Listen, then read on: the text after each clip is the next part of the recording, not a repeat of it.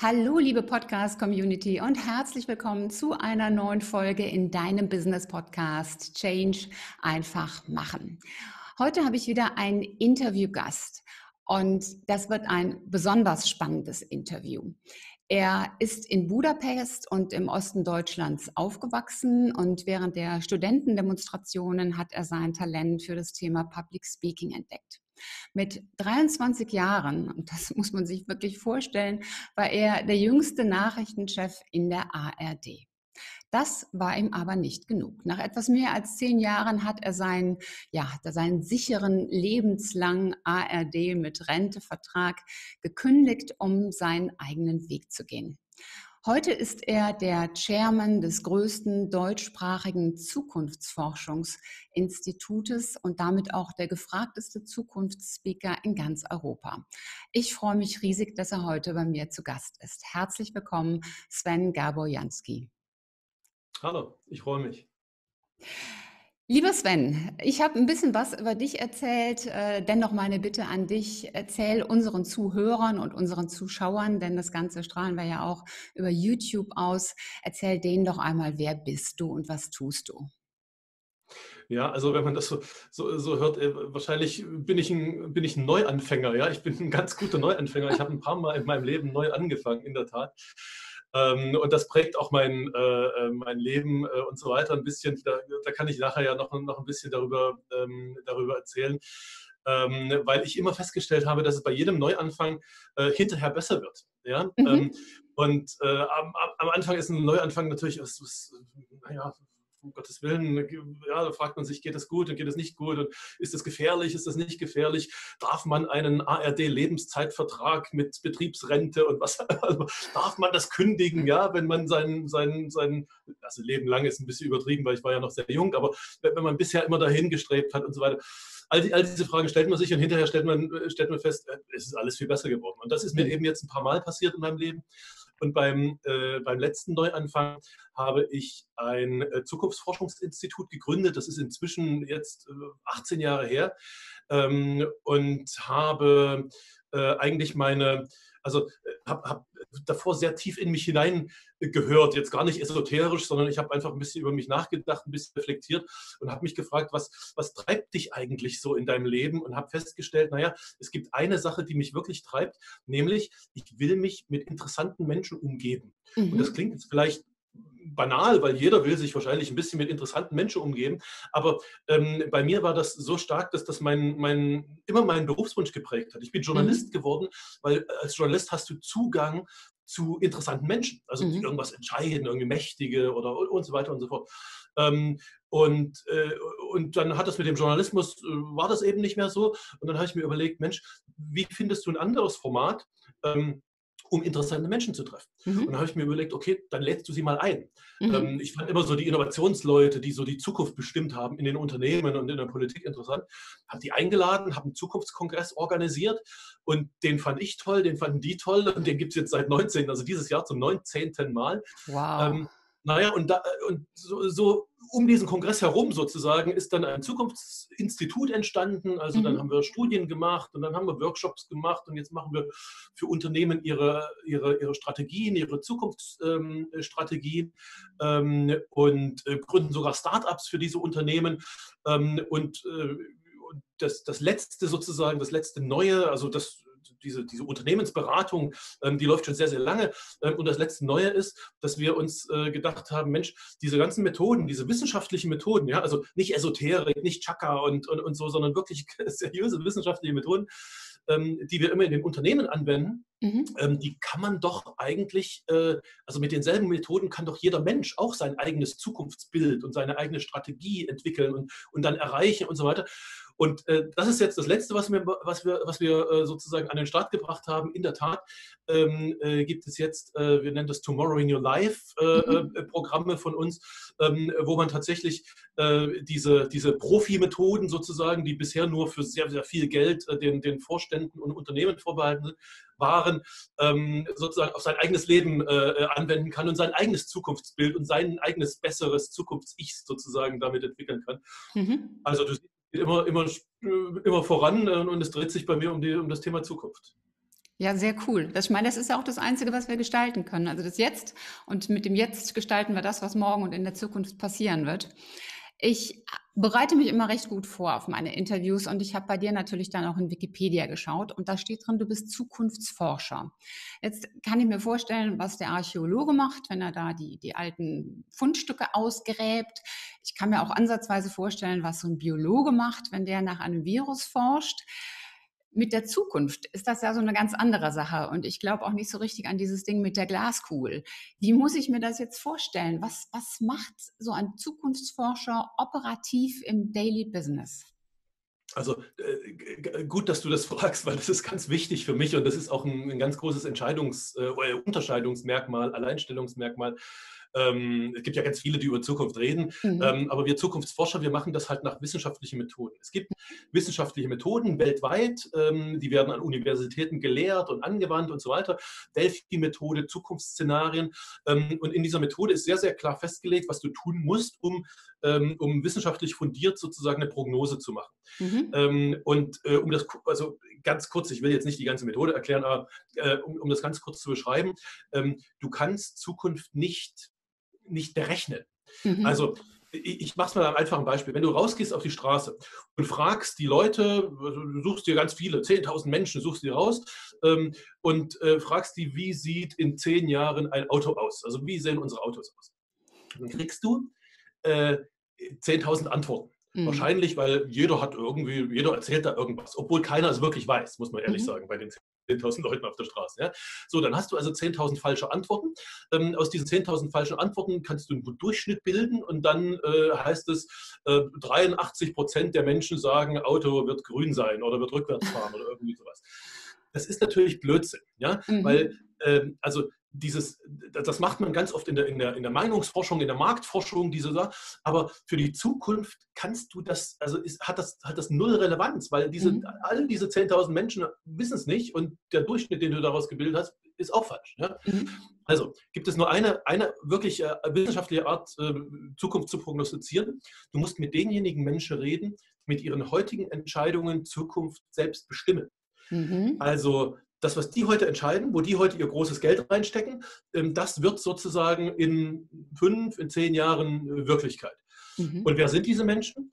Äh, realistisch gesehen sind das äh, ganz oft die Strategiechefs, die Innovationschefs und die Technologiechefs von großen marktprägenden Unternehmen, markttreibenden Unternehmen, weltweit. Mhm. Und wir Zukunftsforscher, wir tun nichts anderes, als uns diese Leute rauszusuchen weltweit mein Institut, äh, wir haben so 1500 etwa in unserem Kontaktnetzwerk weltweit. Ähm, wir suchen uns die raus, wir bauen einen Kontakt auf, die kennen, lernen uns kennen, wir lernen die kennen ähm, äh, und dann, halten, dann, dann machen wir Interviews mit denen. Lange, mhm. zweistündige Interviews und fragen die, was tust du da gerade heute? Warum tust, tust du das? Und was kommt daraus, also nach deiner Prognose, was entsteht daraus in fünf, in acht, in zehn Jahren? Und dann wieder die mhm. Methode, dann gibt es eine erste Welle, eine zweite Welle, ach, bla bla bla sozusagen. Ja? Ähm, aber am Ende kommt ein Zukunftsbild heraus, ähm, äh, wo drin steht, äh, was die also was die großen, die, die mächtigen, die ressourcenstarken ähm, äh, Akteure heute treiben und wohin das geht in zehn Jahren, wenn das alles so weitergeht.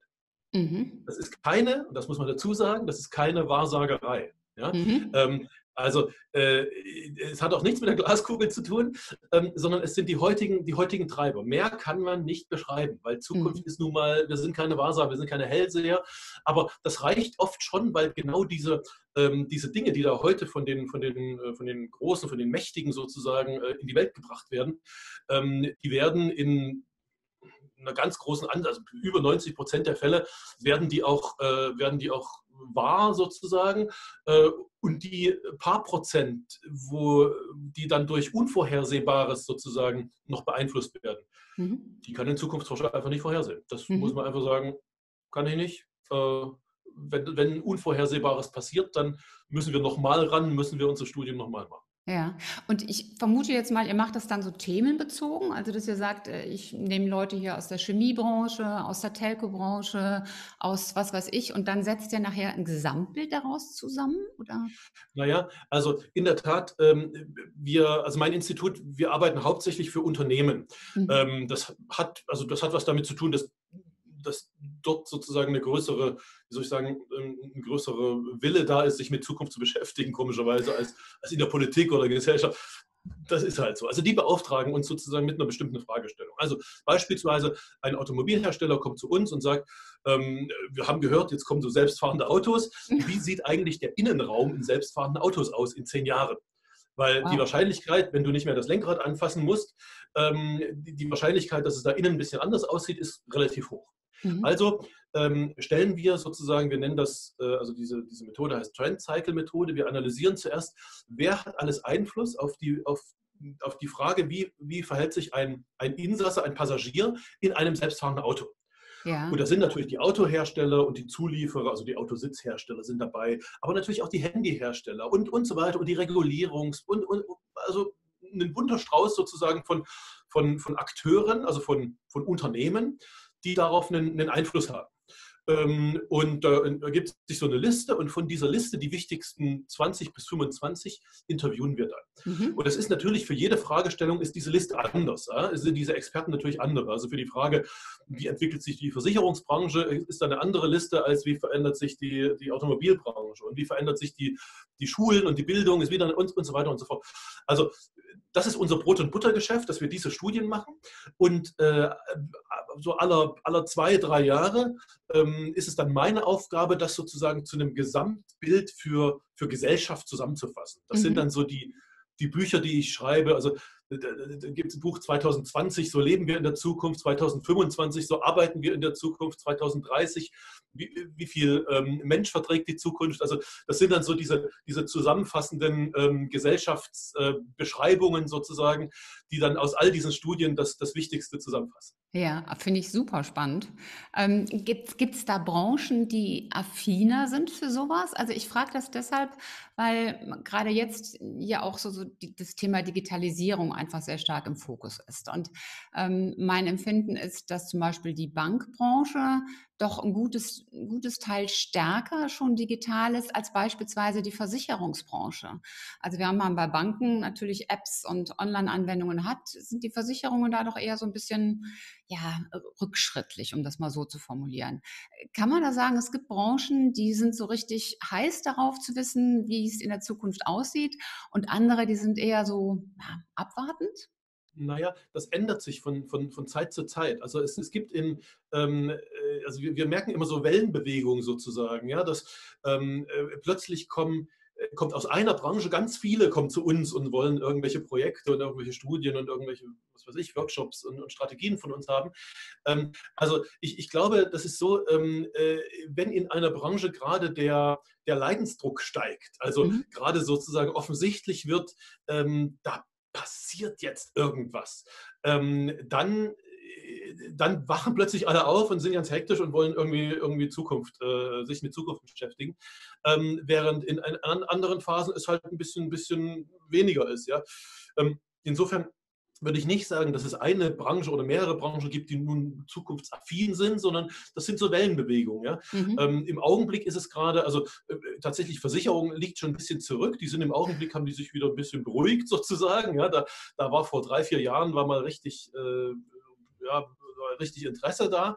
Ähm, Im Augenblick ist es gerade die Gesundheitsbranche, ähm, weil dort technologisch äh, sehr, sehr viel passiert ähm, äh, und äh, wahrscheinlich sozusagen die, äh, die, wie soll ich das sagen, die, die, naja, also bestimmte Pfründe oder bestimmte Marktanteile neu verteilt werden. Ähm, so langsam kommt auch die, die Lebensmittelbranche ähm, äh, hoch. Energie ist immer, immer ein großes Thema, gerade ähm, gerade weil es eben jetzt nicht mehr nur um, um äh, also das, das, die klassischen regenerativen Energien geht, was wir früher hatten, sondern um, eine, um ein Zukunftsbild, wie sieht eigentlich die Wasserstoffgesellschaft aus, ja, also 2030 in Deutschland, wenn, wenn ganz viel mit Wasserstoff funktionieren soll, mhm. ähm, aus CO2-Gründen und so weiter, wie, wie sieht das eigentlich aus? Also da sind einige Branchen äh, ganz aktiv, aber wie gesagt, das, das, das ändert sich dann wieder und nächstes Jahr sind es dann wieder andere Branchen. Ja, okay. Du hast vorhin erwähnt, dass die Politik ähm, da nicht so agil ist. Wie machen die das denn? Weil gerade für die Politik ist es doch eigentlich sehr wichtig, vorherzusagen, in welche Richtung geht denn die Reise. Ja, ehrlich gesagt, ähm, musst du da die Politik mal fragen. ich bin da ein bisschen, also vielleicht sogar ein bisschen befangen. Also es, es ist ganz einfach, ich, ich, ich, lade die Politik immer ein. Ja? Die, die, kommt zu, also die kriegen Einladungen zu unseren Kongressen und kriegen unsere Studien geschickt und all das. Und zwar ganz egal, also Europa und, und Bundes- und Landes- und sogar Kommunalpolitik und Bürgermeister und so weiter. Ähm, und es gibt eigentlich... Äh, es gibt nicht viel Interesse daran, muss man ehrlich sagen. Es gibt so, so vereinzelte, also aber nicht mehr als eine Handvoll ähm, äh, Politiker, ähm, die tatsächlich Interesse haben, äh, sich mit, mit, mit Zukunftsstudien, mit, also mit unseren Zukunftsstudien zu beschäftigen. Ähm, äh, aber das heißt jetzt nicht, dass, dass, dass Politik äh, sich überhaupt nicht mit Zukunft beschäftigt. Ne? Die mhm. haben natürlich schon ihre Berater ähm, wie soll ich das sagen, die haben sie auch meist, oft schon sehr lange und, und, und sehr, sehr feste okay. Netzwerke und das sind dann irgendwelche Professoren aus irgendwelchen Universitäten. Mhm. Ähm, und wenn ich jetzt sozusagen unsere Studien vergleiche mit denen, die da so sind, dann denke ich mir manchmal, mh, okay, ähm, also wie soll ich das sagen? Ich, ich ich würde mir wünschen, äh, natürlich würde, wünsche ich das jeder, dass, dass seine Arbeit äh, auch von der Politik wahrgenommen wird. Äh, ich würde mir das wünschen, weil, weil, weil viele Dinge, die, die irgendwie nicht, nicht so gut laufen ähm, äh, oder ganz langsam, viel zu langsam laufen ähm, in diesem Land, ähm, standen bei uns vor zehn Jahren tatsächlich schon in den Studien drin. Mhm. Aber ja, ich meine, ich kann, ich bin Wissenschaftler, ich bin jetzt kein, ich bin kein Politiker, also ich bin mhm. da kein äh, keiner, der da, der da wahnsinnige äh, Bedarf hat, da sich einzumischen oder an andere zu überzeugen oder so. Ich, ich mache meine Arbeit, ich lege sie hin, jedem, der sie, der sie haben möchte und ähm, wer sie halt nicht nimmt, der nimmt sie nicht. Ich frage das natürlich auch deshalb, weil wir ja im Moment immer noch in der Corona-Situation sind. Und ähm, man liest in der Presse, äh, ja, die Bundesregierung hat mit 70 Tagen Verzögerung nur reagiert und äh, gab es denn überhaupt irgendwelche Notfallpläne? Ähm, war sowas wie Corona nicht früher oder später vorhersehbar, dass sowas passieren müsste? Ja, ähm, äh, also es, doch, es, natürlich war es vorhersehbar. Es, es, es gibt auch äh, und gab schon lange ähm, äh, Zukunftsstudien international. Äh, unter den Zukunftsforschern wurde das ja, ab und zu mal diskutiert. Ähm, und zwar immer unter der, unter der ein bisschen makaberen Frage sozusagen, ähm, durch was, also was ist denn das, der, das Ding auf der Welt, wodurch am meisten Menschen sterben würden? Sozusagen. Ja, die Frage mhm. ist natürlich sehr makaber, aber ähm, um, um, sozusagen vorauszusehen, was der größte anzunehmende GAU quasi ist. Ja? Und in mhm. all diesen Studien, die, da, äh, die, die es da gibt in der internationalen Zukunftsforschung, ist eine, ist eine Epidemie, eine weltweite Pandemie immer ganz, ganz oben an, an Top 1 äh, äh, gewesen. Wow. Oder ist nach wie vor natürlich. Ähm, weit vor Terrorismus und Atombombe und all diesen anderen denkbaren Sachen. Ähm, also es ist nicht so, dass das niemand wusste ähm, aber niemand wusste den Zeitpunkt. Ja? Mhm. Und, äh, und äh, weil es, wie soll ich das sagen, weil, weil es eben lange dann vorher auch nicht passiert ist, jedenfalls nicht in dieser, in dieser weltweiten Dimension, ähm, ja, hat man, hat man halt nicht reagiert oder, oder, oder hat, man, hat man sich halt nicht, nicht richtig vorbereitet. Ähm, äh, ich, also ich ich habe da sogar ein bisschen Verständnis für, ja, weil, ähm, weil man kann sich natürlich nicht auf jede, auf jede Möglichkeit oder jede Eventualität irgendwie vorbereiten. Schau mal, das ganze Silicon Valley, also die ganze Westküste der USA steht auf dem äh, äh, steht an dieser, an, an, dieser Grenze dieser zwei tektonischen Erdplatten. Ähm, jeder, jeder weiß, jeder, der irgendwie mal ein Buch gelesen hat, weiß, dass es dort mal richtig dolle Erdbeben geben wird. Ja? ja und das dass stimmt. die das Moment, also vielleicht sogar die Atomkraftwerke da irgendwie, die, die in dieser Region stehen, irgendwie echt, echt, echt in Schwierigkeiten kommen. Und trotzdem äh, äh, leben die dort weiter. Ja? ja. Also äh, heißt sozusagen, selbst wenn man das weiß, äh, kann man sich nicht, nicht, nicht, äh, nicht immer vorbereiten. Den Zeitpunkt wussten wir nicht, muss man ganz ehrlich sagen. Ähm, und deshalb äh, will ich an der Stelle eigentlich gar keinen ähm, äh, ja, gar keinen richtigen Vorwurf machen, jedenfalls nicht, was die, was die Vorbereitung äh, auf, diese, auf diese Situation äh, betrifft. Ja, ich glaube, das ist ein sehr, sehr guter Vergleich. Also ähm, gerade hier der, der St. Andreas-Graben da bei, äh, in Kalifornien, der ja quer durchgeht und äh, dann auch durch San Francisco und die ganzen großen Städte durchzieht. Ähm, gerade der wäre ja eigentlich Grund genug, dass die Menschen dort nicht leben. Und weil Sie nehmen das natürlich billigend in Kauf, vielleicht weil sie sich auch nicht bewusst damit auseinandersetzen, aber es, es gehört eben dann dann schon dazu und dass man sich eben auch nicht auf alles ja so vorbereiten kann, wie du das gesagt hast. Ähm, bevor wir wieder in die Zukunft gehen, möchte ich noch mal einen kleinen Sprung in deine Vergangenheit machen. Wir haben vorhin über den äh, lebenslänglich ARD, so ein bisschen ketzerisch in Anführungszeichen, äh, gesprochen. Ähm, wenn man so, so Studien und Umfrageergebnissen bei den jungen Menschen von heute, wenn man denen glaubt, dann ist eines der Dinge, die sie anstreben, einen sicheren Job. Also zum Beispiel bei öffentlichen Behörden oder zum Beispiel so etwas, wie du es hattest, so ein lebenslänglich Vertrag. Ähm, wie bist du damals damit umgegangen, dieses Aufgeben von, von Sicherheit? Äh, wie hast du das hinbekommen? Denn der Podcast heißt ja Change, einfach machen. Und ich möchte auch, dass die, die Menschen einfach mutiger werden und die Sicherheit in sich finden und nicht in einem Arbeitgeber. Also wie, wie hast du das gemacht? Naja, also erstmal war es für mich eine große Befreiung. Das muss man, also diese, diese Kündigung, das muss man, muss man sagen. Naja, ähm, weißt du, also, also es, es, ist natürlich schon so. Es, äh, ich habe Journalismus studiert und wollte immer äh, in die, äh, also im, im, Radio, ja, Radio war immer mein, mein, mein Fable und äh, wollte da Auslandskorrespondent werden und all diese Dinge. Ähm, und das hat bei mir sehr schnell geklappt gehabt. Das war, das hat, das war so eine Sondersituation in der, äh, nach der Wende. Ähm, äh, da ich, ich habe in Leipzig studiert, habe 91, also zwei Jahre nach der Wende, angefangen zu studieren in Leipzig äh, Journalismus. Und äh, gerade zu dieser Zeit wurden, wurden zwei neue ARD-Anstalten gegründet und mit den, mit den alten Journalisten wollte keiner mehr was, also den alten Ostjournalisten wollte keiner was zu tun haben, weil sie so als systemnah galten.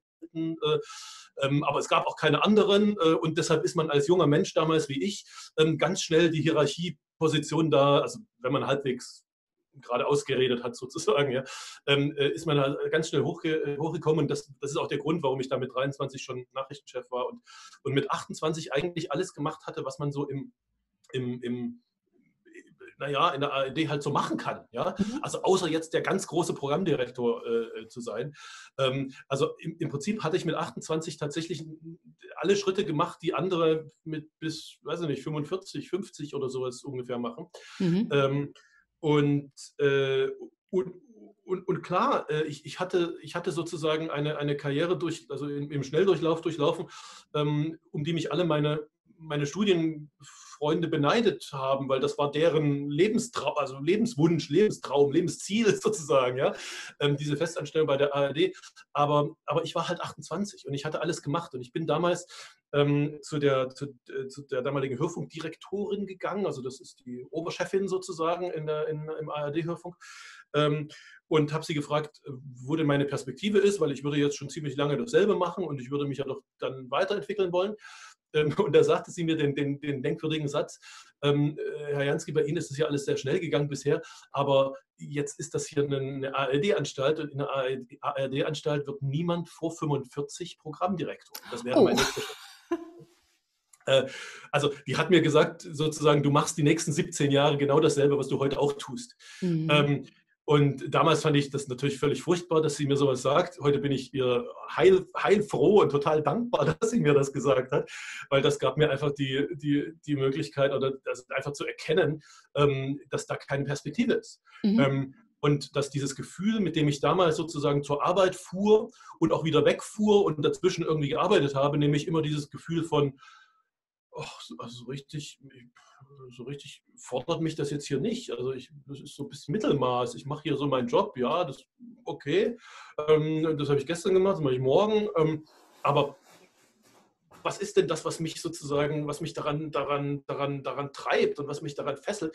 Ähm, das habe ich dann einfach nicht mehr gespürt. Ähm, mhm. und dann war es für mich ganz einfach zu, zu sagen, okay, jetzt, jetzt unterschreibe ich hier die Kündigung und, und alles, was danach kommt, wird besser sein, ähm, weil weil, weil dieses, dieses, wie soll ich das sagen, dieses, dieses permanent im Mittelmaß äh, rumhängen, hm, das, das ist es, also für mich jedenfalls ist es das halt nicht. Ja, ähm, ich möchte da trotzdem nochmal bohren, denn ich glaube, dass wir in Deutschland wirklich auch viele Menschen haben, die ihre Situation erkennen, die sehen, ich mache hier einen Job, den, den reiße ich eigentlich nur runter der befriedigt mich nicht. Ich, ich sitze das ab. Ich warte noch die nächsten 17 Jahre bis zur Rente.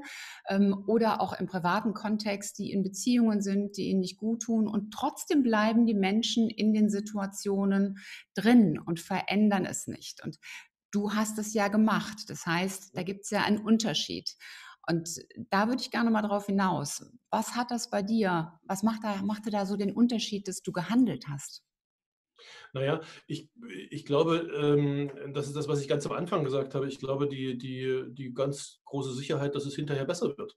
Mhm. Also, das ist nur, also nur besser werden kann, klingt jetzt ein bisschen übertrieben, aber, aber ich habe halt vorher in meinem Leben schon, ähm, schon ein paar Mal erlebt, ähm, dass, dass ein Neuanfang, also wirklich ein, ein, ein Zurücksetzen sozusagen des, äh, äh des, des Lebens, ähm, äh, dass das dass das etwas Gutes äh, bewirkt, weil, weil mhm. hinterher, äh, also es ist nicht, es ist überhaupt nicht so, dass, dass sozusagen durch diesen Neuanfang ähm, etwas verloren geht, sondern das was, das, was möglicherweise verloren geht, das holt man so schnell wieder auf und dann geht man halt drüber, ähm, weil man die ganzen, die ganzen Erfahrungen schon hat, aber, aber sozusagen, wenn man neu anfängt, äh, nicht in diesen ganzen ähm, Regeln und, und, und, und Beharrungs- und Seilschaften und so drin hängt, sondern einfach, einfach überholen kann.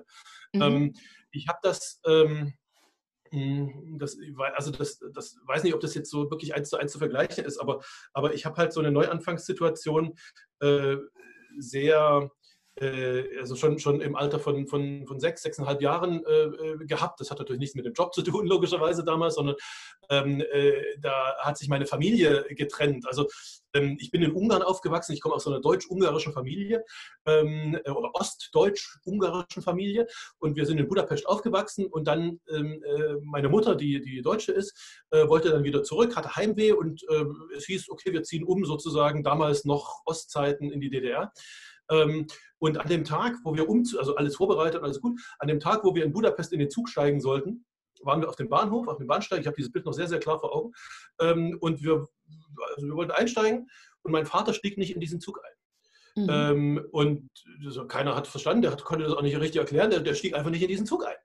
Ähm, und dann fuhr dieser Zug ab, wir drin, der draußen. Ähm, und äh, dann habe ich viele Jahre meinen Vater nicht mehr gesehen. 20 Jahre später habe ich den, äh, den Hintergrund sozusagen erfahren, der wollte halt nicht hinter die Mauer.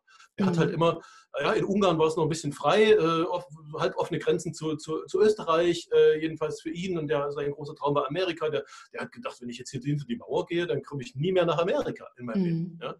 Also kurz gesagt, ähm, äh, damals und als sechsjähriger Junge, der sehr vaterfixiert war, ähm, der in Ungarn aufgewachsen war, ungarischer Kindergarten, ungarisch gesprochen hat, ungarisch gedacht hat, der, der kommt jetzt plötzlich äh, in, in, Deutschland an, also in DDR an, äh, soll dort in die Schule gehen, soll Deutsch sprechen, hat keinen Vater mehr. Also das war ein Neuanfang. Ja? Mhm. Ähm, und, äh, und, und diese Neuanfänge, die zwingen, also wenn, man, wenn die passieren, dann zwingen die einen, ähm, sehr, sehr klar über sich nachzudenken. Ähm, ja. Und das ist im Alter von sechs Jahren natürlich ein anderer Gedanke als jetzt äh, im Alter von 50 oder so. Aber, äh, äh, aber, aber dieses, dieses sozusagen zurückgeworfen werden auf sich und was bin ich und was mache ich und warum bin ich hier und was, was, was soll jetzt hier aus mir werden sozusagen. Das ist mir damals so gegangen, das ist mir nach, bei der Wende so gegangen, ja klar, Ostdeutsch, ja, irgendwie, das ist nicht nur mir, sondern 16 Millionen Menschen so gegangen. Plötzlich, mhm. plötzlich war alles weg. Äh, ja. Stell dir vor, ähm, jetzt über die Bundesrepublik würde plötzlich das chinesische äh, äh Gesellschaftssystem gestülpt werden. Stellen wir, das lieber nicht vor. naja, genauso war es aber für die 16 Millionen da irgendwie. Also ja. nur die Sprache war gleich. Also ich will da überhaupt gar keine Wendegeschichten erzählen, aber, aber, ähm, aber für mich, also ganz rein für mich, hatte das einfach die Auswirkung, nachdenken zu müssen darüber, was ist deine Position, ähm, was ist richtig, was ist nicht richtig für dich, wer tut dir gut, wer tut dir nicht gut ähm, und, und was ist dein Weg. Ähm, und jedes Mal, in, jeder, in jedem dieser, dieser Neuanfänge, ähm, habe ich gemerkt, ein Jahr später war das alles viel, viel, viel besser. Die Möglichkeiten waren größer, es war, es war schöner, es war, und, und das gibt mir persönlich so die, die absolute Sicherheit, äh, dass ich genau weiß, also bei meinem nächsten Neuanfang und ehrlich gesagt, jetzt, ich freue mich jetzt, also ich freue mich jetzt schon auf meinen nächsten Neuanfang. Ich habe keine Ahnung, wann der sein wird, aber ich freue mich wirklich drauf, weil äh, es wird, äh, also äh, ja, es kann, nur, es kann nur besser werden. Es, es wird nicht schlechter. Sehr cool. Ich glaube, du hast auch die, die, die Frage wirklich sehr, sehr gut beantwortet mit diesem Beispiel und die, diese Fragen, die man sich stellen sollte. Dieses, äh, was kann ich eigentlich, wer bin ich, das auch wirklich genau zu reflektieren, was tut mir gut, wer tut mir gut, ähm, das vergessen wir immer so ganz gerne. Und äh, als, als Kinder da machen wir uns nicht so, nicht so riesengroß die Gedanken darüber, sonst hätten wir ja niemals laufen gelernt. Ähm, sonst hätten unsere Eltern gesagt, ähm, Kind, lass mal lieber, du kannst dir einen blauen Fleck holen, krabbeln geht auch. Und wir hätten es wahrscheinlich auch nicht mit, mit diesem Eifer und dieser Energie versucht, es zu erlernen. Und das, das ist halt heute so ein bisschen abhanden gekommen. Und ich glaube, dass diese Fragen, ähm, dass die halt wirklich sehr, sehr gut dabei unterstützen und helfen. Mhm. Ich möchte jetzt wieder auf die Zukunft kommen. Du hast ein Buch veröffentlicht, du hast es vorhin schon mal angesprochen, 2030, ähm, wie viel Mensch verträgt die Zukunft?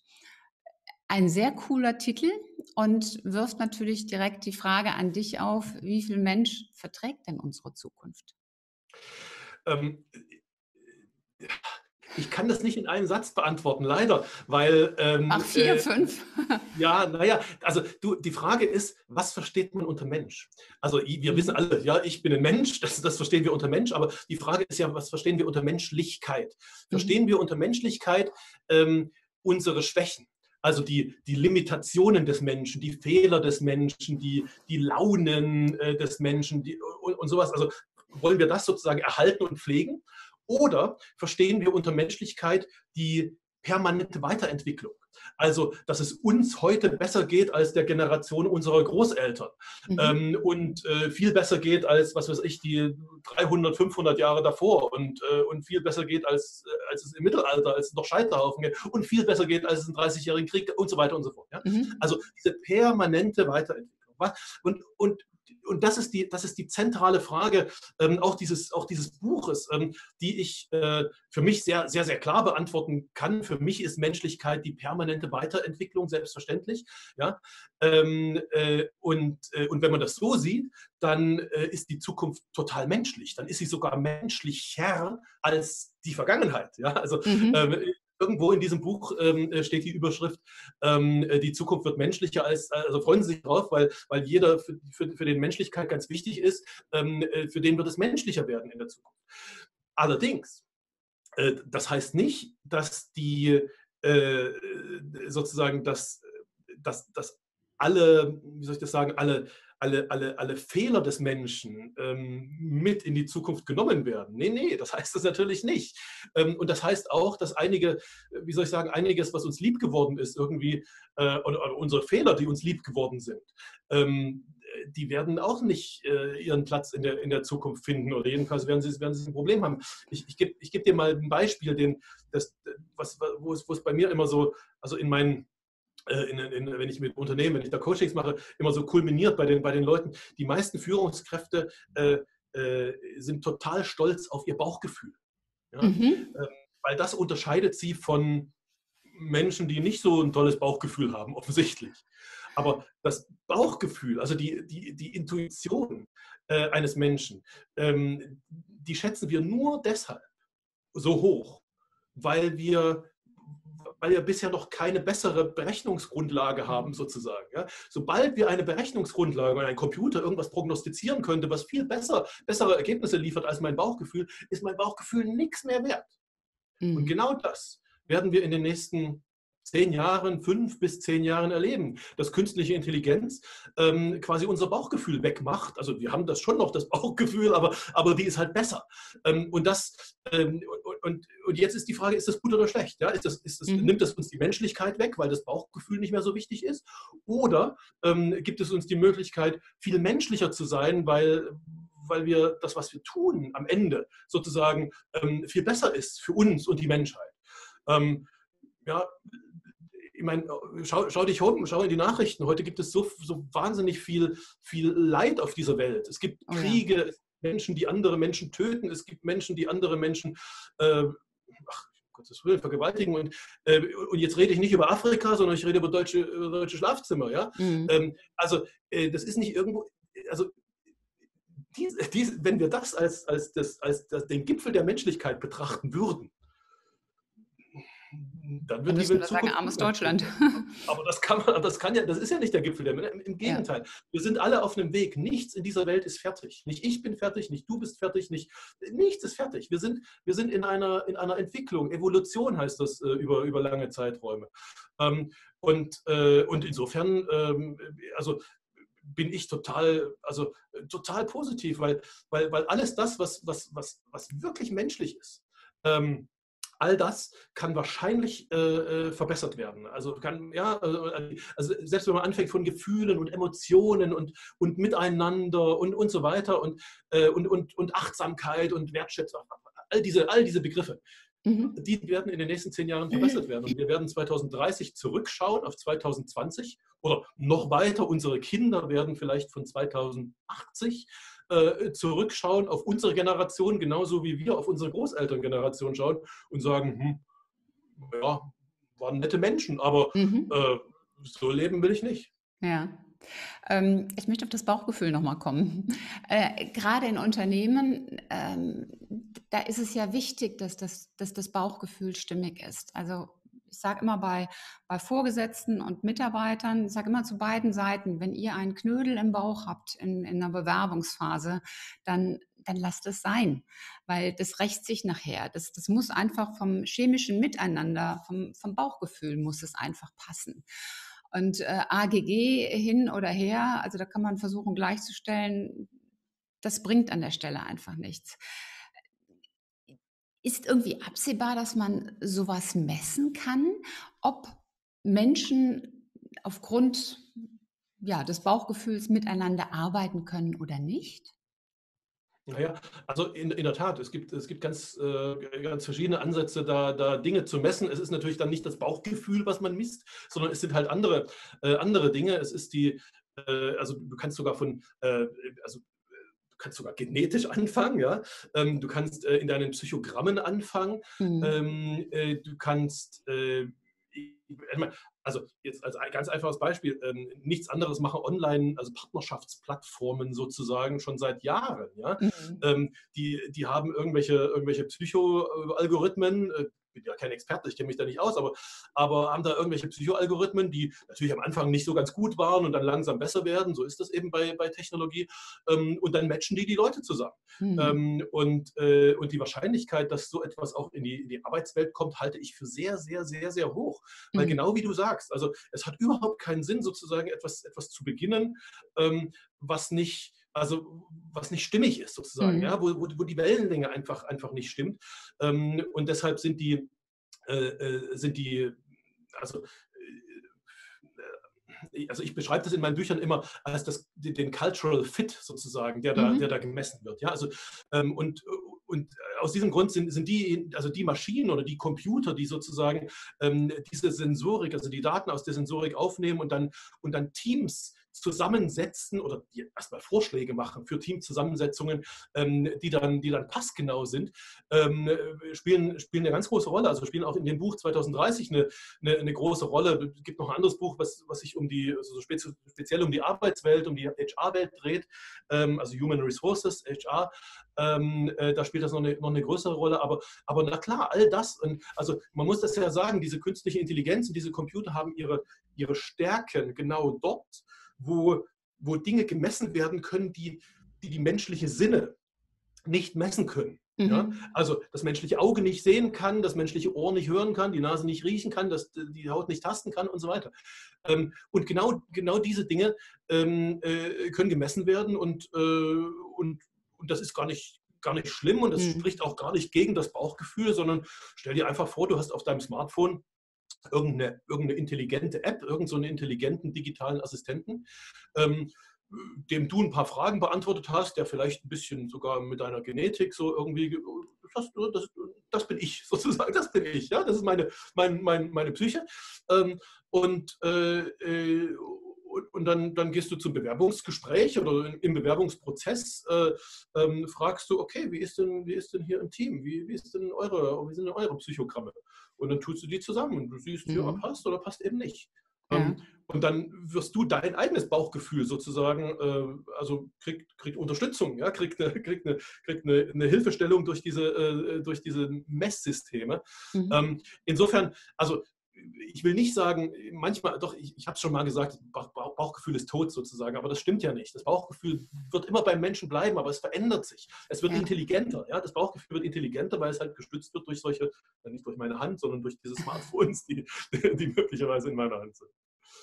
Also ich, ich, persönlich glaube, dass wir auch noch gar nicht alles messen können äh, von, von der Technologie her, einfach weil wir es technologisch noch nicht entdeckt haben. Es gibt äh, ein Buch, das heißt äh, The Celestine Prophecy. Das ist eigentlich mehr so ein Abenteuerroman und da ist eben beschrieben, dass wir Menschen von Energiefeldern umgeben sind und wo dann jemand, der stärker ist als im Vergleich zu einem Schwächeren, von dem Schwächeren im Grunde so die Energie auch abzieht und mhm. äh, dass man das dann auch wirklich messen kann und, und sehen konnte durch grüne und rote Energiefelder. Also ganz, ganz spannend. Also ich glaube, da ist ähm, ja. Sehr viel dran. Ich möchte aber nochmal zurückkommen auf das Heute. Ähm, wenn die Unternehmen dich jetzt beauftragen mit, mit einer Zukunftsprognose und du gibst Ratschläge und Empfehlungen, dann heißt das ja in der Regel auch, da muss sehr viel umgesetzt, verändert, gemacht werden, innovativ gemacht werden. Jetzt haben wir aber in Deutschland äh, von, von der Vergangenheit her sehr viel mit Regeln, mit Prozessen, mit Hierarchien zu tun. Vieles läuft so in diesem Modus Autopilot. Äh, was empfiehlt ihr, was empfiehlst du den Unternehmen? Was müssen sie tun, um hier mehr Drive, Innovationsfreude, Dynamik reinzubekommen? Ja, also ähm, äh, lass mich vielleicht einen ungewöhnlichen Satz äh, vorherschieben. Ich finde diesen Autopilot, der ist total wichtig. Ne? Ja. Also diese, diese, Regeln, die es die gibt, die Rituale, die Routinen sozusagen, das Automatisierte, sowohl im, mhm. im menschlichen Kopf als auch äh, in Unternehmen, ähm, ist total wichtig, weil sonst könnte der Mensch nicht, nicht leben. Und je besser die sind, diese Routinen, ähm, desto, desto besser, desto erfolgreicher sind auch Unternehmen. Deshalb sind mhm. deutsche Unternehmen eigentlich äh, jetzt im Vergleich äh, europäisch, sagen wir mal, äh, wirklich gut. Aber ähm, äh, uns muss das bewusst sein, weil diese, diese Routinen sind eben automatisiert in unserem Kopf. Das heißt, die sind nicht mehr im Bewusstsein, die sind im, Unter, im Unterbewusstsein. Wir machen mhm. jeden Tag dasselbe. Ähm, und, äh, und solange sich das Umfeld nicht ändert äh, und es keine Veränderung, keine Veränderung bedarf, ist das super. Aber sobald sich das Umfeld verändert äh, und wir uns verändern müssen, weil wir uns anpassen müssen an das Umfeld, wie auch immer, an Technologien oder neue Wertschöpfungsketten, neue Konkurrenten, was auch immer, ähm, dann müssen wir an unsere, an unsere unterbewussten Denkmuster ran, an unsere Denk- und Verhaltensmuster. Ähm, und das ist das Schwierige, ähm, weil die eben nicht bewusst sind. Also ich kann mir nicht verbieten, äh, äh, meinen Denkmustern weiter zu folgen. Äh, das geht einfach nicht. Ich kann, ich kann was anderes machen. Und ich erzähle das immer ähm, oder ich versuche das immer zu beschreiben, auch den Unternehmen, nach denen du gefragt hast, an einem Beispiel. Ich habe mal vor, ach, das ist jetzt schon, naja, fast zehn, ja, sieben Jahre her. Ähm, da habe ich äh, ziemlich viel mit, äh, oder ein bisschen was mit Thomas Tuchel zu, zu tun gehabt. Mhm. Thomas Tuchel ist der Fußballtrainer, äh, damals bei Dortmund, jetzt in Paris. Ähm, und äh, das, das hatte einen Grund. Ich habe ein Buch geschrieben ähm, über, über Vergessen lernen. Ich wollte mhm. also äh, untersuchen, wie genau diese Frage, wie kriegen die Unternehmen es hin, bei ihren Mitarbeitern sozusagen, denen das Vergessen zu lernen, also die alten Regeln zu vergessen, um offen zu sein für neue Regeln. Mhm. Und äh, komischerweise ist ja dieses, also wenn du mit Hirnforschern redest, dann ist das Vergessen und Verdrängen für das Hirn eine der, der wichtigsten Tätigkeiten sozusagen. Ja. Aber in der Schule haben wir nie gelernt, wie man vergisst. Ja, also mhm. wir, wir, haben das, wir haben das nie gelernt, das bewusst zu steuern. Ähm, und, äh, und selbst in der Universität und in, in, in Weiterbildung in Unternehmen, vergessen lernen ist totaler Quatsch, äh, sagen alle, ich muss alles, alles, will alles behalten, ich will mir alles merken. Nun müssen die aber vergessen. Also habe ich damals ähm, mir Menschen gesucht, von denen ich dachte, die könnten mir sagen, wie man vergisst, wie man mhm. gut, also wie man anderen beibringt zu vergessen. Und ich war total, na, also naiver Gedanke. Ich habe mir gedacht, Mensch, Fußballtrainer. Fußballtrainer, die äh, müssen doch, wenn, sie, wenn es einen Trainerwechsel gibt äh, und sie sind neu, dann müssen sie ganz schnell bei ihrer Mannschaft das Spielsystem des alten Trainers raus, vergessen mhm. und ihr neues Spielsystem rein. Und wenn die mir auch sagen können, wie das geht, super. Ähm, und ich habe diese Frage ziemlich vielen Fußballtrainern gestellt. Die meisten haben die überhaupt nicht verstanden, muss man dazu sagen. Ja?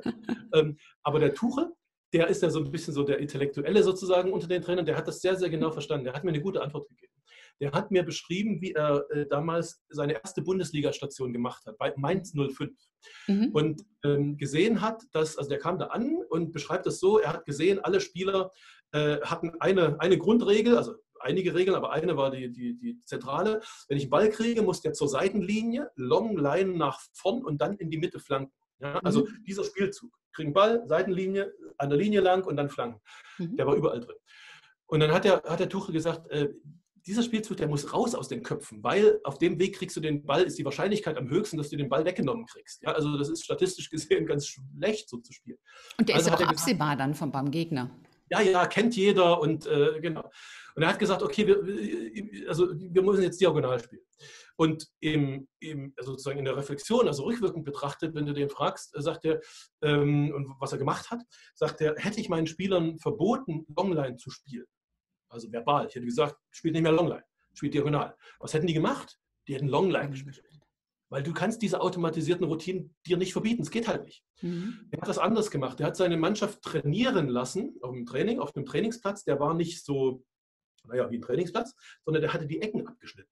Also Mittellinie war breit und dann mhm. ging sozusagen die Außenlinie direkt zum Torpfosten. Also ja, so, eine, so eine Diamantform, könnte man mhm. sagen. Also hätten die weiter Longline gespielt, hätten die direkt ins Ausgespielt. Er hat ihnen, das ist wichtig, er hat ihnen die Möglichkeit weggenommen, ihrer alten Routine weiter zu folgen. Er hat ihnen gleichzeitig die Möglichkeit gelassen, sich selber eine neue Routine zu suchen. Also der hat nicht gesagt, spielt diagonal. Starke Idee zufällig nur noch diagonal. Ja? Mhm. Ähm, und wenn du, ich bin kein Psychologe, aber, aber äh, wenn, äh, also was er sagt und was auch in Psychologiebüchern steht, ist, dass es etwa 90 Tage dauert, also drei Monate, bis du, äh, wenn du dir selber die Möglichkeit nimmst, deiner eigenen Routine weiter zu folgen, bis du dir eine neue so antrainiert hast, dass es, also so, dass es automatisiert ist, dass du dir nicht mehr darüber nachdenken musst. Ja. Ähm, und genau das, zurück auf deine Frage, genau das mache ich mit den, mit den Unternehmen. Ich, äh, ich äh, mache mit den, mit den Workshops, ich mache mit den Programmen, ich mache mit den Coachings, ähm, äh, schaue mir sehr genau an, ähm, welche, welche Denkmuster, welche Verhaltensmuster sind da in den Teams drin? Warum sind die da drin? Was sind die Regeln dahinter? Was sind die Routinen? Was sind die Rituale, die diese Denkmuster da halten? Und dann mache ich die weg. Mhm. Ja? Diese Rituale, diese Regeln müssen weg, die müssen verboten werden und dann äh, durch neue ersetzt werden. Mhm. Nochmal, der Mensch braucht Routinen, die Unternehmen brauchen Routinen, es sind nur die falschen. Die müssen mhm. weg, durch neue ersetzt werden und genau das, das tun. Wenn ich das jetzt auf den Einzelnen herunterbreche, also die, die, Zukunft zu gestalten, und du hast es am Anfang gesagt, dass ihr jetzt auch ein Programm habt, ähm, was, was den einzelnen Menschen im Fokus hat, welche drei Tipps würdest du unseren Zuhörern, unseren Zuschauern geben, was könnt ihr tun, um mehr Veränderungsdrive in euer Leben zu bekommen? Also der, der erste Tipp, ich, also drei Tipps ist, ein, ist, eine gute Zahl, weil, weil tatsächlich in diesem Programm, was du erwähnst, hat, hat drei Stufen sozusagen. Okay. Also, genau, das muss man, äh, muss man so, aus meiner Sicht so machen. Also das ähm, ist nicht das abgesprochen. Ist, nein, nein, nein, nein, genau. Nein, das erste ist, ähm, äh, ich, ich, nenne das immer deine Zukunft erkennen. Also erkenne mhm. deinen Möglichkeitsraum. Das klingt jetzt ein bisschen so, hm, Möglichkeitsraum. Ähm, es ist nichts anderes als, äh, äh, mach dir klar, äh, in welchem Umfeld du mit einiger Wahrscheinlichkeit in fünf oder zehn Jahren, je nachdem, was du so vorhast, leben wirst. Mhm. Also, wie gibt es deinen Job noch? Ähm, gibt es dein Unternehmen noch? Äh, welche Kompetenzen sind gefragt? Äh, bist, hast du eine Familie? Hast du keine Familie? All, die, all diese Dinge. Also, mach dir, mach dir klar, wie du leben wirst. Mhm. Die, die ich, ich, erlebe es ganz oft, dass, dass jemand irgendwie ein tolles Zukunft, eine tolle Zukunftsvision irgendwie äh, äh, erspinnt sozusagen, aber die außerhalb seines Möglichkeitenraumes ist. Mhm. Ähm, und das ist ja ganz, das ist ja ganz nett, wenn man groß denkt. Und ich bin der, der größte Fan von Großdenken. Aber es, es wirft dich halt immer wieder zurück, wenn es außerhalb deines Möglichkeitenraumes ist. Mhm. Und ehrlich gesagt, der Möglichkeitenraum ist groß. Ja, also erstens, äh, erkenne diesen Möglichkeitenraum, lies Zukunftsbücher, schau dir Studien an, alles kostenlos, mach, mach irgendwelche Online-Kurse, ähm, alles kostenlos oder für einen kleinen, für einen kleinen Preis äh, äh erhältlich. Zweitens, äh, äh, mache dir sozusagen, also überlege dir innerhalb dieses Umfeldes, was du jetzt kennst, deine, deine Idealpositionierung, also dein mhm. ideales Zukunfts-Ich. Wie wäre es denn am schönsten? Mhm. Und bitte, und das ist ein ganz wichtiger Bestandteil dieses, diese, dieser zweiten Stufe bei, bei, bei, unseren Coachings oder bei meinen Coachings, äh, entwickle nicht ein Zukunftsbild, weil in dir stecken ganz viele Zukünfte. Mhm. Also viele, viele, viele mögliche Zukünfte. Ich nochmal ganz zurück auf die Situation, die wir am Anfang hatten, als ich äh, in der ARD gekündigt habe. Genau zu diesem Zeitpunkt habe ich mir überlegt, Mensch, was machst du jetzt? Logischerweise, ja, ich musste ja gucken, was machst du? Äh, und ich, hatte die möglich ich hätte die Möglichkeit gehabt, äh, nach wie vor Auslandskorrespondent in der ARD zu werden. Ich hätte die Möglichkeit gehabt, ähm, ein Angebot an, die Uni zu gehen, äh, Juniorprofessor und Nachfolger meines Professors zu werden. Ich hätte die Möglichkeit gehabt, ich bin damals viel, also ich habe sehr viel Sport getrieben, Marathon. Ich hätte mir durchaus tatsächlich so Leistungssport, Marathon, Triathlon vorstellen können. Ähm, ein Freund von mir war gerade nach Afrika gegangen, hat dort ein Hotel gegründet. Ich hätte, ich, ich hätte nach Afrika gehen können, Hotel, äh, hätte mir auch Spaß gemacht. Ja? Ähm, äh, und, und also ich, Unternehmer wollte ich, wollte ich schon immer werden und so weiter und so fort. Ich hatte damals zehn, zehn verschiedene Möglichkeiten meiner Zukunft auf dem Zettel. Und ich habe mhm. die alle ausgearbeitet. Also wie, wie funktioniert wow. das mit Familie und so, und so weiter. Also und, und hatte erst, als ich die zehn neben mir hatte äh, oder vor mir hatte, konnte ich sie vergleichen und konnte, konnte ein Bauchgefühl dazu entwickeln. Und der, an, der, an der Stelle ist das Bauchgefühl total wichtig. Mhm. Äh, welches ist denn jetzt für mich das Richtige? Und da kam jetzt plötzlich das Zukunftsinstitut. Also das war eins und, und, ja, und, und es kam raus.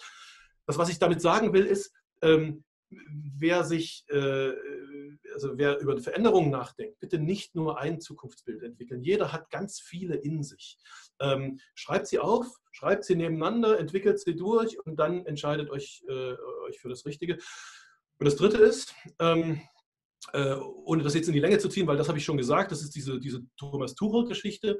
Ähm, um, um ein Zukunftsbild wirklich zu erreichen, äh, muss, äh, muss man seine, seine eigenen Denkmuster verändern. Mhm. Weil äh, die Situation hier und jetzt, in die sind wir gekommen, weil wir diese Denkmuster haben. Diese mhm. Situation mhm. ist sozusagen nicht, eigentlich nicht die Ausgangssituation, sondern das Resultat. Das Resultat dessen, wie wir bisher denken, in welchem Umfeld wir sind. Und wenn wir in ein, in ein anderes Zukunftsbild, in ein anderes Zukunfts-Ich hinein wollen, dann müssen wir diese Denkmuster verändern. Ja wie man das macht, habe ich gerade schon kurz beschrieben, sozusagen die Ecken abschneiden. Ja? Also ähm, sich selber die Möglichkeit nehmen, seinen eigenen Denkmustern weiter zu folgen und das, und das sehr, sehr, sehr, sehr, äh, also das nicht nur bei einem und nicht normal, sondern, sondern als, wie soll ich sagen, als, als, als, als, als Management, als Steuerungsstrategie für das eigene, äh, für das eigene Mindset. Mhm. Wenn, ich, wenn du jetzt so einen Blick nach 2030 wirfst, ähm, wie sieht unser Leben dann aus? Naja, das hat natürlich, da habe ich jetzt irgendwie 400 Seiten Bücher drüber geschrieben. Es fällt mir schwer, das jetzt irgendwie in, in, in, äh, in, eine, äh, in eine Sache zu packen. Aber ähm, also was man sagen kann, ähm, es wird äh, es wird intelligenter, es wird äh, gesünder, es mhm. wird äh, also rational besser. Alles, was du mit rationalen Dingen sozusagen messen kannst, ja, ähm, äh, wird besser und das ist, das ist die Folge dieser, dieser Computer, dieser mhm. Computerisierung, der künstlichen Intelligenz, der, der, der Digitalisierung. Ähm, äh, ob, das, ob das zugleich auch ähm, wie soll ich das sagen? Ich versuche jetzt das Wort menschlich zu vermeiden. Ja? Ob das zugleich auch bedeutungsvoller und glücklicher wird. Das liegt dann das an uns, was wir damit machen. Ja, ja, das liegt, das, das kann man, das kommt nicht von außen. Glück kommt nicht von außen, Glück mhm. kommt von innen. Ja. Ähm, ich, in, diesem, in diesem letzten, was, in dem Buch, was du erwähnt hast, dieses, dieses 2030, ähm, äh, wie viel Mensch verträgt die Zukunft? Ähm, da gibt es ganz bewusst zwei Kapitel, äh, die ein bisschen anders sind als die anderen. Ähm, das eine heißt die Zukunft der Angst und die, das andere heißt die Zukunft äh, des, des, Glücks oder Untertitel mhm. werden wir alle glücklicher. Ähm, und selbstverständlich gibt es darauf auf diese Glücksfrage keine, keine Antwort, weil äh, also rein objektiv, rein rational gibt es die Möglichkeit, dass wir ein schöneres Umfeld haben und aus einem schöneren Umfeld äh, mehr Glück für uns ziehen. Mhm. Aber ob das jeder macht, ist eine individuelle, relative Entscheidung. Individuelle, genau, so ist es. Letzte Frage zur Zukunft. Wer den Podcast schon länger verfolgt, der weiß, dass ich so ein Fan von ja, so Science-Fiction und ähnlichen Filmen bin. Und äh, unter anderem gibt es bei den Avengers einen Bösewicht, der heißt Dr. Zola. Und der überlebt seine Zeit, also der ist auch über den Tod hinaus im Grunde aktiv, weil sein Gehirn, sein, seine Gedanken werden digital äh, aufgesogen und sein gesammeltes Wissen wird dann weiterentwickelt. Also der ist dann auch auf dem Rechner mit, mit seinem ursprünglichen Gesicht. Wie utopisch ist sowas? Oder wie realistisch ist sowas? Überhaupt, überhaupt nicht utopisch. Also ähm, in diesem 2030-Buch im ersten Kapitel, da, da stirbt ein Großvater. Ähm, 2030, ja, und eine echte Prognose für 2030, nicht ausgedacht, sondern das ist die, das wahrscheinliche Massenszenario 2030. Stirbt ein Großvater eines natürlichen Todes, sehr alt, ähm, äh, und seine, seine Enkeltochter bekommt ein bisschen später geschenkt äh, von ihrem Vater, also dem, dem Sohn des Verstorbenen, ähm, dass sie mit ihrem Opa weiter telefonieren darf. Mhm. Was hat er gemacht? Der hat äh, 18 Monate vor seinem Tod äh, technisch gesehen eine künstliche Intelligenz trainiert. Äh, praktisch gesehen hat er einfach nur mit seinem Handy geredet. Ähm, und diese künstliche Intelligenz hat seine, seine Stimme, also seine Stimmmodulation angenommen, redet genau mit seiner Stimme, hat sein Humorlevel angenommen und hat auch sein Wissenslevel angenommen. Also ist nicht allwissend, sondern erzählt auch denselben Quatsch manchmal wie der Großvater, ja, denselben Fehler. Ähm, ist halt wie Telefonieren mit dem Großvater. Mhm. Und, äh, und die Wahrscheinlichkeit, dass das äh, tatsächlich über die nächsten zehn Jahre passiert, äh, ist total hoch. Ähm, ob das jetzt jeder benutzen will oder nicht, äh, das ist die andere Frage. Ja? Also mhm. auch in diesem Buch gibt es da Streit. Also der, der, Großvater fand das super, weil er konnte was hinterlassen. Die Enkeltochter findet es auch gut, aber zwischen Vater und Mutter der Enkeltochter entbrennt ein echter Streit um diese Frage, darf die das benutzen und so weiter. Klar, wir werden, also das ist halt so, wenn es Veränderungen gibt und technologische Veränderungen, dann gibt es erstmal Streit und Diskussionen. Aber, ähm, aber letztendlich ähm, äh, führt, das, äh, führt das dazu, dass wir äh, äh ohne, äh, also eigentlich ohne jede, ohne jede Frage irgendwann äh, das, was wir hier in diesem, in diesem Kopf haben, sozusagen, in einen Computer bringen werden. Mhm. Und ob das jetzt eine 1 zu 1 Kopie ist oder ob ich den erst, also ob das sozusagen irgendwo eine Schnittstelle ist und ich kann es einfach downloaden oder uploaden, ja, äh, das sagen auch einige, das ist noch wahrscheinlich noch 80 Jahre entfernt, aber, aber, aber zwischendurch werden wir sie halt trainieren, diese, diese, diese Dinger. Ähm, und wir werden, den, wir werden den Nutzen, jedenfalls viele von uns werden den Nutzen dafür finden. Ich hoffe nicht nur die Bösewichte. Ja, ja das hoffe ich auch.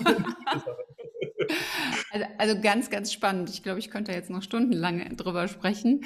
Ähm, nichtsdestotrotz möchte ich so langsam zum Abschluss kommen und ich habe zum Abschluss immer drei Fragen, die ich allen meinen Gästen stelle. Ähm, die erste Frage ist, die halt wirklich so in das Thema Stärken reingeht. Warum bist du gut in dem, was du tust? ich glaube, weil ich, es, äh, weil ich es mit Leidenschaft tue und weil die Menschen mhm. merken, dass ich es mit Leidenschaft tue ähm, und, äh, und so ein bisschen eine neue Generation von Zukunftsforschern verkörpere. Ähm, die, die, die ältere Generation, die wollte immer Zukunft vorhersagen. Die haben mhm. immer so gesagt, wir sind die Wahrsager und wir sagen, wie es in zehn Jahren ist ich habe von Anfang an gesagt, äh, Leute, ich bin kein Wahrsager, ich bin kein Hellseher. Ich möchte Menschen helfen, jetzt, hier, im Hier und Jetzt Menschen helfen, ähm, äh, einen, einen, äh, einen, einen klaren Zukunftsplan zu machen und mit großen Schritten ihre Zukunft selbst in die Hand zu nehmen und in ihre Zukunft zu gehen, sozusagen. Mhm. Ja, also ich verstehe mich viel mehr, klar bin ich Zukunftsforscher, aber viel mehr verstehe ich mich als, als Enabler, als Befähiger, mhm. als, als, als Zukunftscoach wenn man so will. Ähm, und äh, wenn man das tut, dann muss man es mit Leidenschaft tun. Ansonsten glauben einem die Menschen das nicht. Und ich glaube, ich tue das wirklich mit Leidenschaft. Also das ist, glaube ich, ein, Teil äh, und ein großer Teil des, des, äh, des Erfolgs, warum wir auch das, das, das größte Zukunftsforschungsinstitut numerisch an Mitarbeitern gesehen in Europa inzwischen sind. Also das glaub, kam auch, glaube ich, absolut überzeugend in dem ganzen Gespräch rüber, dass das, was du tust, dass da wirklich eine ganz große Leidenschaft dahinter ist. Die zweite Frage ist, hast du ein persönliches Motto, ein Leitmotiv, ein, ein Kernsatz? Na, ja, ich, ich habe es nicht so mit, äh, mit, mit, wie soll ich sagen, mit Vorbildern oder mit, mit Leitsätzen oder sowas. Aber, mhm. aber ich habe vorhin schon ein, äh, etwas gesagt zwischendurch mal, was, äh, was, was für mich ganz wichtig ist. Äh, und das, äh, dieser Satz ist ganz, ganz simpel und ganz kurz. Der heißt, nichts ist fertig. Ja, super. Wenn man im Kopf hat, dass äh, man selbst fertig ist, oder sein Haus fertig ist oder seine, sein Job fertig ist oder sein irgendwas fertig ist, dann wird man dann hört man auf, sich zu entwickeln. Dann wird man, ja. wird man langsam, dann wird man träge dann, äh, und so weiter. Äh, deshalb ist für mich der, der wichtigste Satz, und das gilt für mich, das gilt für meine Kinder, für meine Familie, aber natürlich auch für meine Mitarbeiter und, und, und meine Kunden. Ähm, nichts ist fertig. Das ist das Grundprinzip. Wir haben die Pflicht, jeden Tag äh, daran zu arbeiten, dass wir immer einen Schritt besser werden. Großartiger Satz, ganz toll. Und die dritte Frage, was ist, wenn du jetzt auch zurück auf deinen beruflichen Lebensweg blickst, was ist so deine wichtigste Erkenntnis? Dass wir, äh, dass wir die, dass es nicht eine Zukunft gibt. Mhm. Ähm, ich habe früher ganz, also als ich das angefangen habe, dachte ich, es gibt eine Zukunft. Ähm, und die will ich entdecken und den Leuten sagen. Ja? Ähm, aber die Wahrheit ist, es gibt eben nicht eine Zukunft. Es gibt, äh, ich habe vorhin gesagt, es gibt zehn verschiedene Zukünfte, wenn man so seine eigene, sein eigenes Zukunft-Ich entwickeln will. Ja? macht da zehn und, und äh, hört nicht nach fünf auf, weil, weil euer bestes Zukunfts-Ich kommt an Nummer acht erst oder an Nummer neun. Ja? Mhm. Also ähm, äh, es gibt nicht eine Zukunft, es gibt ganz, ganz viele Zukünfte. Und wenn ich mein Leben sozusagen oder meine, meine Karriere, meinen bisherigen Lebensweg sozusagen zurückschaue, ähm, dann, dann, dann sieht man das sogar in meinem Job. Ähm, äh, schau mal, ich war, ich war Journalist, ich war äh, äh Radiomanager, also naja, unter Programmdirektor sozusagen. Ich war Wissenschaftler, ich war äh, Dozent, ich war Berater, ich bin jetzt äh, inzwischen seit drei Jahren Investor, also investiere in irgendwelche Startups das ist nicht ein Job, sondern das sind irgendwie acht Jobs und mhm. wahrscheinlich äh, werde ich in den nächsten fünf Jahren noch zwei neue Jobs irgendwie entdecken, weil sie mir eben auch Spaß machen. Ähm, äh, und ich glaube, das sollte man, das sollte man tatsächlich im, im Kopf haben, dass, dass wir als Menschen ich weiß gar nicht, wer sich das ausgedacht hat, dass, dass, also früher mal, dass man einen Job hat und der jetzt das Leben irgendwie durchtragen soll, ja. Also jedenfalls wurde es ausgedacht als, äh, in, einer, in, einer, Zeit, als äh, die Lebenserwartung noch bei 55 Jahren lag, sozusagen. Oder weniger. Da, oder weniger, ja. Also da, da, hat man halt für 20 Jahre sich entschieden und so weiter. Aber nein, also das, was ich damit sagen will, ähm, das, was ich wirklich gelernt habe in, äh, in, in den letzten Jahren, ist, ähm, es gibt nicht eine Zukunft, es gibt nicht die Zukunft, die man entdecken kann und dann, dann, dann wird sie, sondern äh, es gibt viele mögliche Zukünfte und es ist die, die Pflicht eines, eines jeden Einzelnen, jedenfalls sehe ich das so, meine Verpflichtung, ähm, äh, mir die beste rauszusuchen und, und, und selber sozusagen den Weg dahin zu gehen, selber meinen Weg zu steuern und selber mein, mein Mindset und mein, mein, meine Denkmuster zu steuern, um ähm, äh, meine beabsichtigt, meine Lieblingszukunft äh, sozusagen zu erreichen. Ja, super. Sven, wenn man mit dir arbeiten möchte, wie findet man dich? Ähm, also ich habe ja einen, einen, relativ prägnanten Namen, ja, Gabor Jansky und Jansky mit SZKY. Ähm, wenn du das bei Google einträgst, äh, findest du mich immer und, und, und auf vielen Kanälen. Ähm, es gibt äh, äh, selbstverständlich einen, äh, einen, äh, eine, eine, eine, Webseite. Ähm, äh, den meisten, die, die erstmal so reinschnuppern wollen und mal den Jansky so ein bisschen kennenlernen wollen, ähm, äh, sozusagen, wenn es um die Persönlichkeitsentwicklung geht, empfehle ich einen, einen, einen kleinen Online-Kurs. Das ist so ein, so, so ein, Einstiegskurs, wo ich so die, die, die wahrscheinlichsten Zukunftsprognosen der nächsten zehn Jahre ähm, präsentiere und den, den Leuten sage, wo habt ihr, also wo denkt ihr schon dran, wo denkt ihr noch nicht dran mhm. sozusagen. Auf der Unternehmensseite das ist natürlich äh, die, die, die Unternehmenswebseite. Also äh, die, vielleicht, kann man, vielleicht kann man auch die, die, die Links nochmal noch mal, noch mal einblenden, aber die werde ich jetzt hier nicht erzählen wollen. Ähm, der, der einfachste Tipp ist einfach meinen Namen bei Google eingeben, ähm, auf, auf, auf Webseiten klicken oder auf Videos klicken und ihr kriegt, ihr kriegt Videos, ihr kriegt, kriegt alles. Ich bin da relativ äh, relativ präsent und, äh, und auf, auf sehr, sehr vielen äh, Social-Media-Kanälen auch, ja, also von, von LinkedIn und Xing, Facebook selbstverständlich, über, über Instagram ähm, und Twitter. Ähm, sucht mich einfach, ähm, klickt einmal, folgt mir oder schreibt mir irgendwas. Ich bin da sehr, bin da sehr zugänglich und, und, und antworte auch. Ja, sehr klasse. Wir werden auch alles nochmal in den Show Notes verlinken, also der Link zum Kurs, der Link zu LinkedIn, Xing, Facebook-Profilen, also alles, äh, was ihr braucht, um Sven zu finden. Sven, ich danke dir ganz, ganz herzlich. Es hat riesen Spaß gemacht. Es war ganz toller Input und ganz viele Impulse. Danke, dass du dir die Zeit genommen hast. Sehr gerne. War ein schönes Gespräch. Vielen Dank.